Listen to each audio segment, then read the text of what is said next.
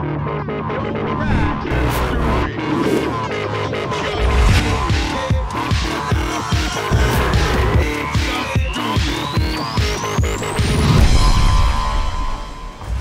kent deze uitdrukking vast wel. Wie mooi wil zijn, moet pijn lijden. Maar ik heb een nieuwe voor je. Wie fit wil zijn, moet zich ongemakkelijk voelen. Ja, moet je vooral niet te letterlijk nemen, maar die indruk krijg je bijna wel door dit soort video's. Ken je dat je met je benen zo deze oefening doet? Ja. Dat dan ga zo naar mijn kruisen te kijken. Nee. Ja. En ik luister Ja. vriend, doe even normaal. Dit geeft mij geen prettig gevoel. Het is gewoon eng. Nee.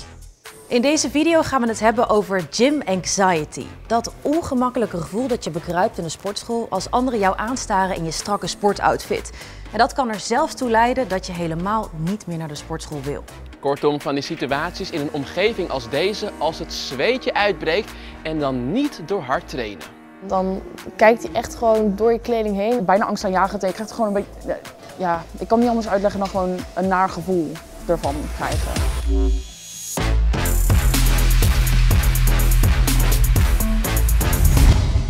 Jullie gaan zo te zien naar de sportschool. Ja, En ehm, heb je wel eens gehoord van de term gym anxiety?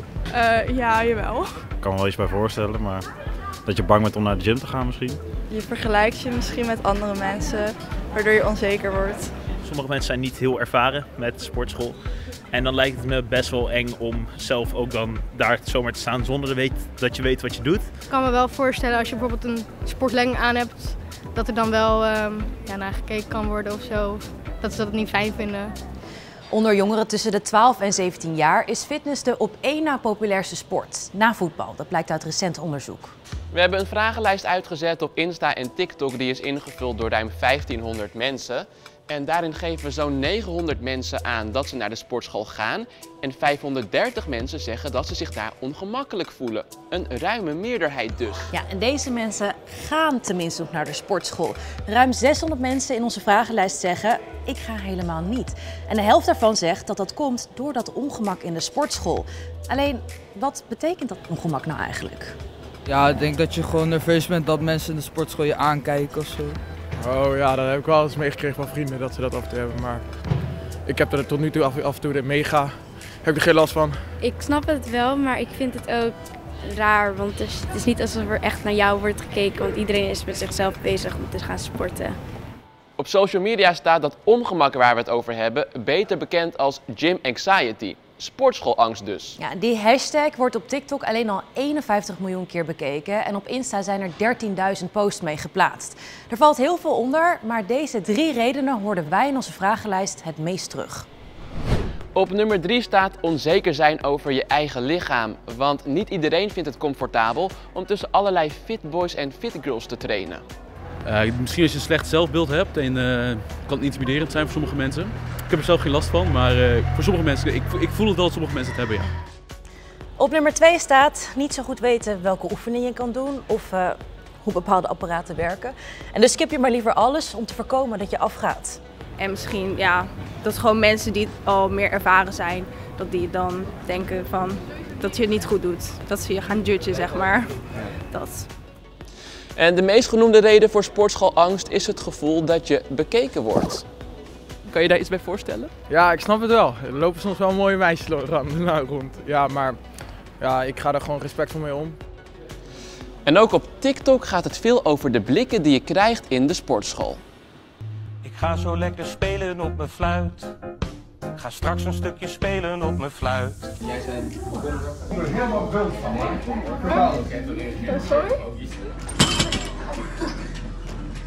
fijn.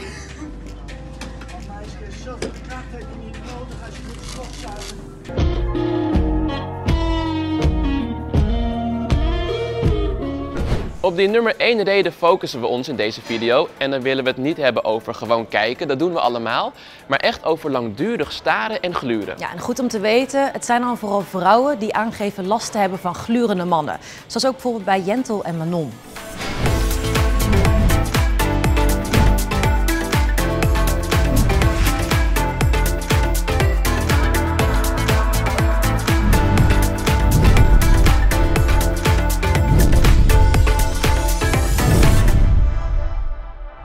Vanaf het begin af aan dat ik daar sportte, was er een man die zijn blikken niet inhield, zeg maar. Hij maakte er geen geheim van dat hij naar je aan het kijken was. Nog niet eens een meter afstand en dan echt zo van top tot teen bekijken.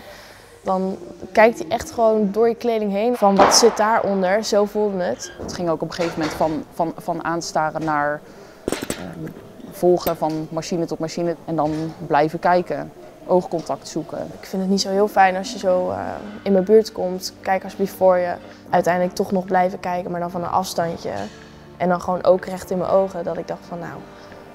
Er zit een heel groot verschil tussen even kijken en nou ja, gewoon aangestaard worden met een soort van eindeloze blik. En dat voelt op dat moment heel vies of zo. Ik weet niet hoe ik het moet beschrijven, maar heel, uh, ja, heel naar. Ik kan niet anders uitleggen dan gewoon een naar gevoel ervan krijgen. Ik denk, ja, het is een beetje een lastig uh, onderwerp. Want als je als vrouw jezelf, ja, dan ga ik iets raar zeggen, op een bepaalde manier gaat kleden. En um, ja, als man kan het wel afleidend zijn. Ik zeg eerlijk, het moet wel kunnen. Ja, kijken wel. Het, het, is anders, het is anders dan bijvoorbeeld iemand lastig vallen, snap je? Als je iemand lastig gaat vallen, ja, dan, dan snap ik het wel. Heel eerlijk, heel veel mannen die kunnen dat niet ja, die kunnen niet wegkijken. Ik heb er zelf niet zoveel last van, maar uh, sommige mannen hebben dat misschien wel. Ze vragen er wel naar. Want je kan ook gewoon met een, met een, andere, met een andere broek of met een andere shirt of met een andere top, topje bijvoorbeeld gaan trainen. Je gaat naar de sportschool om aan jezelf te werken. En dan je vraagt niet om aangekeken te worden, want je bent er gewoon om aan jezelf te werken. Er wordt dus nogal verschillend gedacht over vrouwen kijken in de sportschool. Ook bij jongens onderling. Jentel en Manon wilden na hun negatieve ervaringen op TikTok laten weten hoe zij daarover denken. En dat leverde een hoop reacties op. Vieze oude mannen. Ja, er zitten er echt wel een aantal bij mij in de gym. Er sport hij altijd een man en op een of andere manier gaat hij altijd achter mij staan. En welke kleding ik draag moet ik zelf weten. 9 van de 10 keer zit mijn shirt gewoon los, kun je niks zien. En dan alsnog, al sta ik daar mijn fucking BH. Dit is een van de bovenste. Woman Up Man. Moet je hierom huilen? Het is voor mij echt geen leuke periode geweest daarna. Ook op social media niet. Want alle mensen die de video hebben gezien hebben mij bestempeld als uh, de jankbal. Weet je wel? De... Dat zijn er nogal wat, 1,8 miljoen. Ja. ja. Dat er nare reacties komen, dat wil ik echt wel onder ogen zien. Maar de hoeveelheid had ik niet verwacht. En ook van welke mensen. Ik denk dat 90% van alle video's, of uh, van alle reacties, die waren, die waren negatief. Nou, zeker 50% ervan waren vrouwen. Uh, verbazend was het allemaal best wel goede reacties. Vanuit meiden vooral, die het ook hadden en die het goed vonden dat ik naar de uh, gym was toegestapt. Uh, die herkenden het heel erg, dus die waren een soort van steun eigenlijk. Wat, wat zeg je tegen vrouwen die, die zeggen, oh mannen mogen ook niks meer? Want blijkbaar zijn ze er wel, die vrouwen die dat zeggen.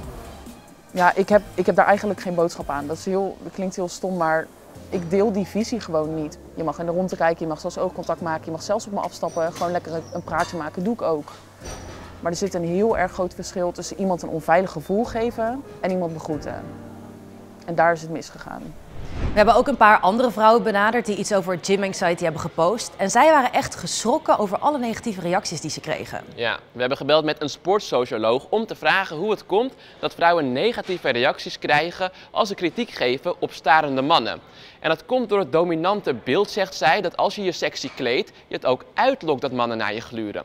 Alleen dat beeld klopt niet volgens haar. Je weet misschien wel dat mannen naar je gluren, maar dat betekent nog niet dat je er ook om vraagt. Er zijn vrouwen die door de sportschoolangst zeggen, wij passen ons maar aan. 300 van hen zeggen in onze vragenlijst, nou, om zo min mogelijk ongemak te ervaren, trekken we bijvoorbeeld lossere of bedekkendere kleding aan of train ik met anderen. Op een gegeven moment gaat iemand vermijden, dus op het moment dat hij dan weer dusdanig veel bezig was, dan ging ik maar wat anders doen. Of ik ben zelfs een paar keer weggegaan, dat ik dacht van nou, het hoeft voor mij gewoon even niet. En toen um, nou, ben ik na een half uur ongeveer weggegaan. En normaal ben ik 2,5 uur in de sportschool. Dus dat was wel aardig vroeg voor mij. Ja, ik ben toen weer lange leggings gaan dragen in een joggingbroek. En na die eerste week dacht ik, oké, je gaat jezelf nou niet zielig vinden. Je gaat je niet aanpassen voor iemand die niet eens respect voor jou heeft. Ik draag nog steeds korte broekjes of uh, strakke leggings, want dat vind ik zelf mooi. Wat vind je daarvan, dat, dat vrouwen zich aanpassen? Uh, ik snap het wel, maar ik vind eigenlijk dat dat niet zou moeten kunnen, zeg maar. Dat het gewoon vrouwen zich veilig zouden moeten voelen in de gym of ergens anders. Vind je het goed dat vrouwen zich aanpassen als ze niet bekeken willen worden? Of... Ja, als ze, als ze niet bekeken willen worden, ja, vind ik dat wel best. Ja, en hebben mannen en sportscholen daar ook niet de verantwoordelijkheid in? Eh, nee. Zeker niet. Nee, waarom niet? Omdat iedereen naar de sportschool gaat voor zichzelf. Maar niet om bekeken te worden, toch? Nee, zeker niet. Maar je, je, je zit allemaal samen in een publieke ruimte. Dus uiteindelijk word je wel bekeken. Je loopt wat risico, zeg je. Zeker. Sommige vrouwen passen zich dus aan, maar blijven wel bij hun eigen gym. Anderen zoeken sportscholen die speciaal zijn opgericht voor vrouwen. Nou, we belden met 15 van die women-only gyms die zeggen dat sommige vrouwen het zo vervelend vinden om bekeken te worden, dat dat een van de redenen is dat ze zijn opgericht. Ja, we wilden ook reguliere sportscholen spreken, met name vijf grote sportschoolketens in ons land. Wat doen zij tegen glurende mannen? Alleen contact zoeken was nog best lastig. Soms kregen we vage antwoorden. Dus gingen we langs bij NL Actief, de branchevereniging die sportscholen vertegenwoordigt. Net als een onderwijzer in het, in het onderwijs, uh, die moet ook zorgen dat er een veilige omgeving is in de klas. Zo weten ook onze professionals dat ze op hun werkvloer ook een veilige omgeving moeten creëren. Maar toch gebeurt het nog best wel veel, blijkt bijvoorbeeld uit de vragenlijst eh, die wij eh, door ja, meer dan 1500 mensen hebben laten invullen. Uh, verbetering is natuurlijk altijd goed. zeker als dit soort gevoelens bij mensen spelen. En nou, uit jullie onderzoek blijkt dat. Dus voor ons ook zeker een signaal om, om daarna te kijken hoe we dat kunnen verbeteren. Zit de verantwoordelijkheid van de sportschool er ook niet in dat ze bijvoorbeeld iets aan de indeling kunnen doen? Dat vrouwen minder last hebben van glurende en starende mannen? Nee, absoluut. De positionering van de toestellen, ergens een plantenbak tussen zetten, iets, iets afschermen. Een melding maken van iemand die je een vervelend gevoel geeft in de sportschool, dat doet bijna niemand in onze vragenlijst. Ze geven bijvoorbeeld aan het zinloos te vinden, omdat volgens hen de sportschool er niet altijd wat aan kan doen.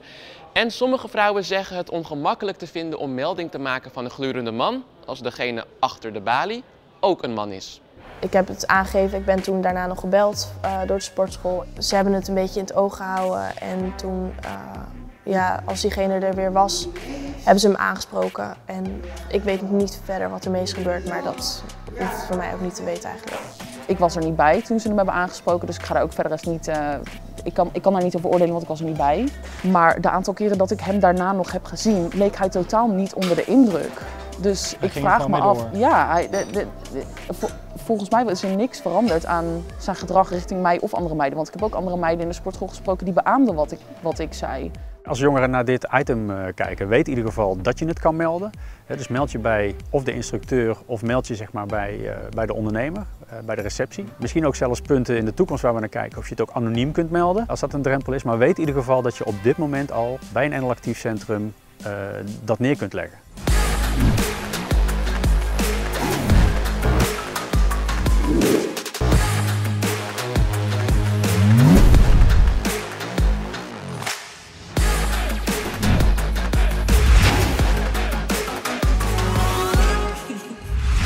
Dus wel zeggen dat ongemak in de sportschool of gym anxiety een fenomeen is waar zeker honderden mensen last van hebben. En dat is nog alleen maar op basis van onze eigen vragenlijst, post op social media en andere enquête resultaten. Dus laat staan hoeveel meer mensen er nog last van hebben. Ja, en met name het aspect van bekeken worden valt ons dus op. En de organisatie die namens sportscholen spreekt, die is zich hier ook van bewust. En mede daarom denken zij na over een speciaal meldpunt waar je anoniem terecht kan. Ja, en jij hebt ook nog een melding om te maken. Niet een leuke melding. Ja. Voor mij dan tenminste. Want ik stop als vast gezicht van NWS Stories. Uh, vind ik heel jammer, maar ik ga werken bij het Grote Mensennieuws. Heb ik ook heel veel zin in. Veel plezier met uh, de rest van het team. Blijf NWS Stories kijken en hopelijk kom ik jullie ergens ooit nog tegen. Doei doei.